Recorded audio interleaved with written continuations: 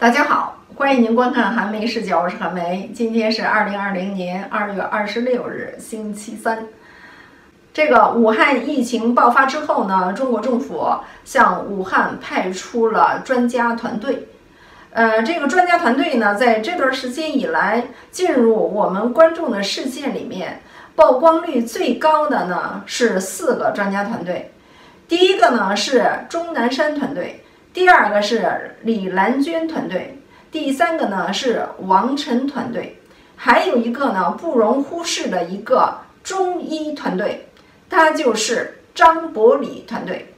他们四个人呢全都是中国科学院的院士。中国政府呢是派出来了我们中国最高顶级的专家团队。那这四个专家团队呢，在这一次抗击疫情的过程当中，做出来了不可磨灭的贡献。昨天，中央电视台《一加一》节目的主持人白岩松，他就采访了这个中医团队的带头人张伯礼先生，张伯礼医生或者张伯礼博士。那张伯礼呢，在这个节目当中呢，他就给大家呢分享了一组。中医和西医进行对比的一组数据，这组数据呢还是非常的说明问题的。俗话说得好啊，不看广告看疗效，我们就来说结果。我不管你黑猫白猫，你抓住老鼠，你就是好猫。你老鼠抓得多，这个是好猫。你长得再漂亮，一个老鼠你也抓不着，你也不是一个好猫。你充其量是一个观赏猫，对不对？这个中医西医呢也是一样，不管是中医，不管是西医，你只要是能治好病，我就用你。我是用你来治病的，不是来供着你的。尤其是在这种疫情大爆发的这种关键时刻，这种紧急时刻，我们不能等着你来做试验，什么单盲、双盲、三盲。等不了，时间就是生命。那么，我现在来看看这些对比数据。说中医组接诊三十四人，这个科学研究啊，往往他研究的这些数据呢，它是滞后的，因为他得分析这些数据来得出来结论呢。那这些数据呢，是截止到什么？是截止到二月十九号的，就说这个结论呢。这个对比分析的结论是二月十九号得出来完成的，呃，那这些数据呢，应该是还要往前推，推到什么时候呢？我现在不掌握那个具体的时间，但是呢，那个时间呢，对我们来说不重要，重要的是这样的啊，中医组呢接诊是三十四人，其中普通型是二十七例。重型的是六例，危重呢是一例，然后西医组呢，他们接诊的是十八人，其中普通型的是十三例，重型的四例，危重的有一例。这个西医接诊的这个数量呢，比中医的要少，要少差不多一半呢。那中医诊断是如何诊断的呢？中医是以湿毒郁肺。易毒避肺及温热运毒为主，这些东西呢，普通人明白不了，他们自己明白不明白也不好说。我一直以来的我的观点呢，我承认中医呢它是有疗效的，尤其是上回的 SARS，这回的新冠肺炎，很明显的这个中医它是有效果的，效果是很明显的。但是呢，中医一个短板就是他解释不清楚，他说不清楚，这是一个短板。中医一定要在这方面下功夫。你说不清楚不行啊，你一定得说清楚啊。你光你心里面你们明白不行，你得让别人明白啊，你才能推广啊。如果你不想推广，没所谓，不想推广没所谓。中国如果是不想把中医这个传统的文化呢，给它保持并且发扬光大。你不用跟任何人解释，没所谓，那是一个没所谓的事儿。就算是铺天盖地，国外都是抨击也好，批评也好，可以不理他们，当狗叫就完了。但是你要发扬光大嘛，对不对？你发扬光大就得以理服人嘛，让别人能明白，还不是说服不服，您让别人明白，现在都不明白是怎么回事儿。我到目前为止，我唯一看到一个对中医有一个合理的科学性的解释，就是前两天我跟大家分享的广东的那个医院心脏科主任。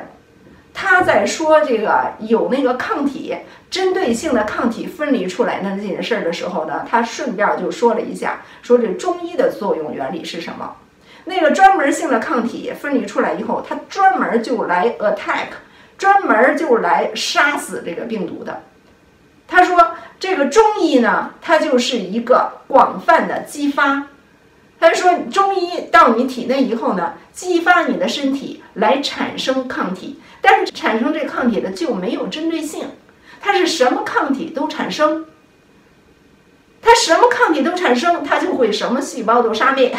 也有可能它并不产生对着新冠病毒对抗的抗体，反而产生了一堆别的抗体，把别的都杀灭了，然后新冠病毒被杀灭。但是实践证明呢，这个中药呢，它杀灭了新冠病毒，而且是有效的杀灭了新冠病毒。上一次在 SARS 的时候呢，也有效的杀灭了这个 SARS 的病毒。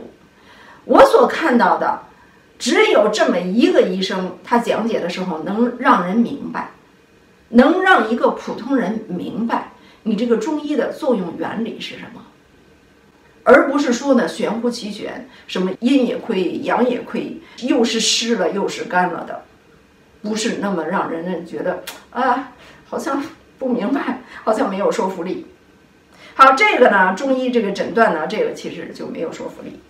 西医的诊断是什么呢？就是新冠病毒的侵入，很简单，谁又不明白？现在我们就是因为这病毒侵入了，什么湿啊、干呐，什么金呀、火呀的，对不对？就是病毒侵入了。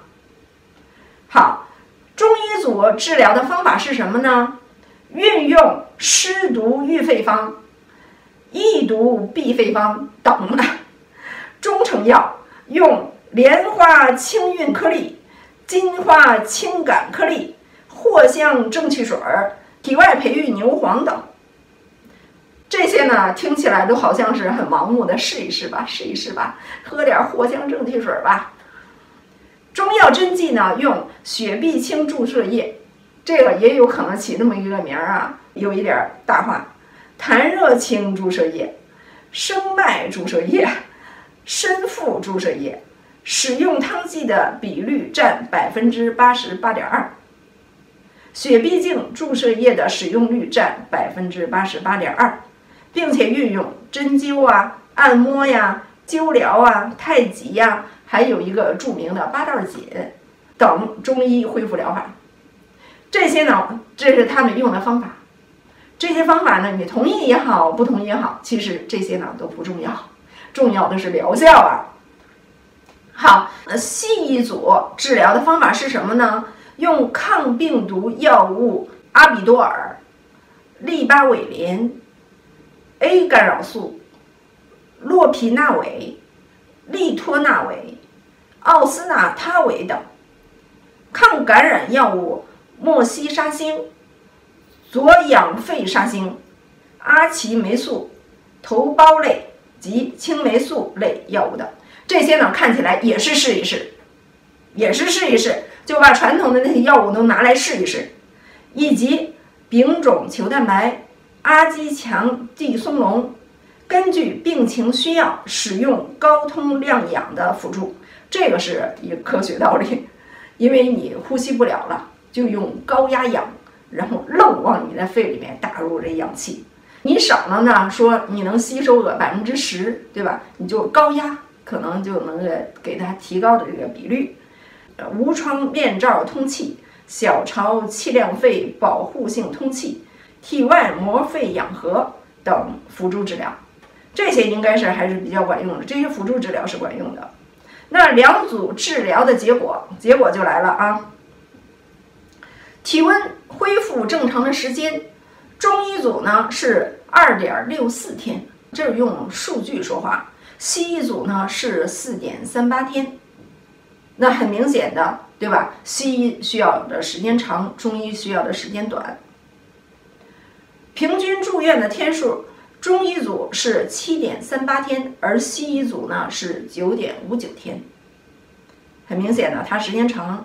其他的伴随症状消失率，中医组二十九例，西医组呢是七例。你光看这个例数呢不行，因为呢我们刚才说了，中医是三十八例，而西医呢只用了十八个病人，所以用几例的这个不准确。但是呢，我们来看它的百分比，中医呢是百分之九十点六啊，症状消失，而西医呢百分之六十三点三症状消失，这是很说明问题了。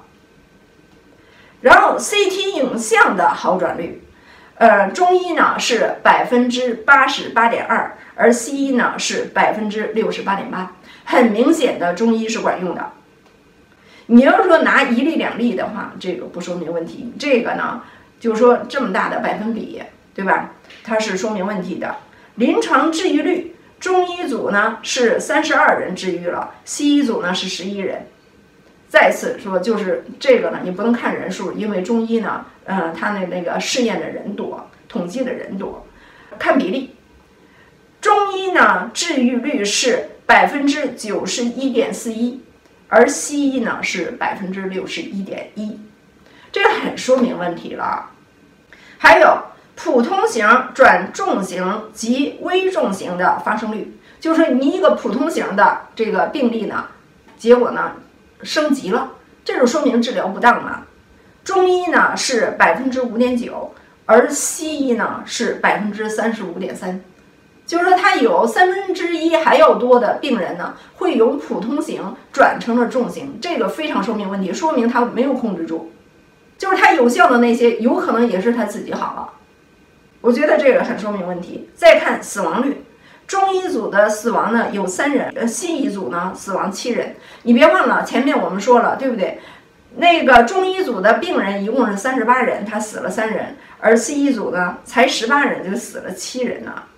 那中医组的这个死亡率呢百分之八点八，而西医组呢百分之三十八，这个绝对是说明问题的。治疗费用这一项就不对比了，后遗症呢也不对比了。你们现在可能还不知道，基本上呢，由这些数据我们就能看出来，中医是完胜的，中医还是很有效果的。咱们不说是你是不是说盲目的哈，这个效果呢是能够说服我。上一次我做一视频，别人说，哎，韩梅你有进步，现在呢你终于承认了。我从来都是承认它是效果的，而且我也用中药。我也用中药，只不过呢，我就觉得现在中医呢没有说出个一二幺来，让人觉得呢他们没有理论。有的人说他有理论呢，他有什么金木水火土啊、五行八卦呀这些东西呀，他有什么阴阳啊这些调整啊，他有什么内湿外热啊什么之类的这些东西啊，这都是理论呢。这些理论没有说服力，好吧？这些理论都没有说服力。中医要想发扬光大，中医。应该说是一个好东西。你看，在这个大灾大疫情面前，它都发挥这么大一个作用，这个中医就不能让它消失了，就不能让它断了根儿，就应该发扬光大。但是，怎么样才能发扬光大呀？你得上升到理论，你才能举一反三。就好像这个钓鱼似的，对吧？说你天天你到水边去甩竿儿，你去钓，然后你跟那儿支上好多的竿儿，你跟那儿钓。说你一天能不能钓着鱼？你也能钓着，能钓着好多鱼。但是呢，你要是说把这个鱼呢，你上升理论，你这里面到底是有什么窍门儿，有什么技巧？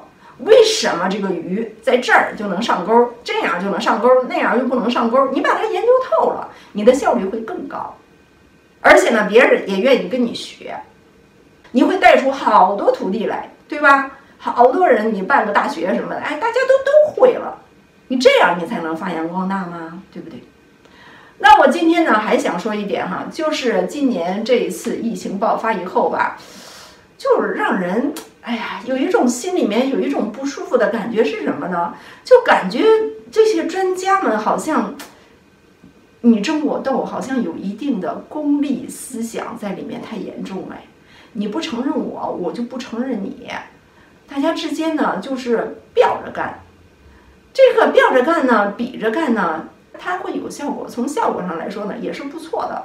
但是呢，就不如呢大家成为一个一个团队。另外呢，我还看到了一个事例啊，我在这视频我也想说一下，就是呢前一阵子有一个呃湖北省司法厅的一个副厅长，退休的副厅长，对吧？他呢因为全家都得了这个病。经过检验呢，已经是阳性了。他们家呢就到处去找关系，试图到医院里面去拿得一个床位。尤其是说他儿子还相当严重，但是呢这个床位得不到。后来呢，他们全家就决定在家里面隔离，但是在家里面隔离也不能等死啊。后来有人就给他推荐了一个民间的一个中医，他叫李月华。这个李月华医生呢，就因为这位厅长的这事儿呢，就浮出水面了，就来到了媒体的面前，来到了公众的面前，就让我们知道了这位李月华医生。这个李月华医生呢，给这位老厅长他们一家三口治疗，这三口全都治好了。他儿子可以说是一个重症，都治好了。这么好的一个医生，很奇怪的是什么呢？他们武汉市没有发挥这位医生的作用。这两天有一个自媒体呢，就把这位医生吕月华他这个事儿就推出来，详细的情况就推到公众的面前。这位李医生他是如何治病的呢？他自己说，他说他发明了一个办法，就是呢他在人体的四个穴位上给他注射。一定剂量的叫酚酞，说酚酞这个东西呢，它的结构和病毒的那个结构呢很像，都是呢一个环状的，那个病毒呢是一个环状的，上面带着刺突。然后这个李医生呢就想到了说，酚酞长期以来是被用作进行消毒的，然后呢李医生也长期用这个酚酞低剂量的酚酞。就跟人体这个穴位上的注射，注射完了以后呢，它就治疗了好多病毒性的感染。有的时候呢，你嘴巴上会长那个水泡；有的时候口腔里面会长大水泡；还有一些其他的很明显的是病毒的。有的时候我们自己不知道，有的时候你嘴巴上长个疮，对吧？你会有说啊上火了，其实呢是病毒，是病毒感染了你，病毒造成的那个。